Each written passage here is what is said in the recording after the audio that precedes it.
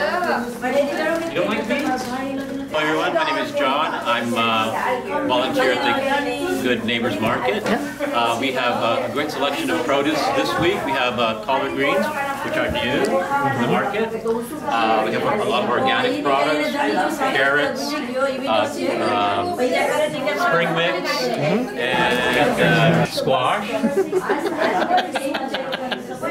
And potatoes and all kinds of things. Yeah. And we have pineapple. We have new vendors this, this week. We have samosas and biryani rice. Uh, and we have uh, clothing and uh, uh, hand creams and other products.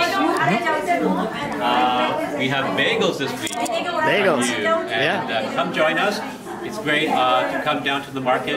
You don't have to travel far, especially on these on these snowy days. So uh, come down and uh, give us a try. Thank you. You don't like beans?